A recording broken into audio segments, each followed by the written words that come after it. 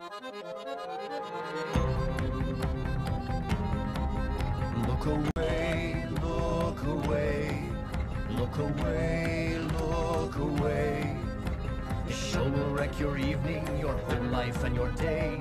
Every single episode is nothing but dismay, so look away, look away, children lose their home and go to live with someone awful. He tries to steal their fortune with a plot that's not quite lawful. It's hard to fathom how the orphans manage to live through it, or how a decent person like yourself would even want to view it. Just look away, look away. There's nothing but horror and inconvenience on the way. Ask any stable person, should I watch, and they will say, Look away,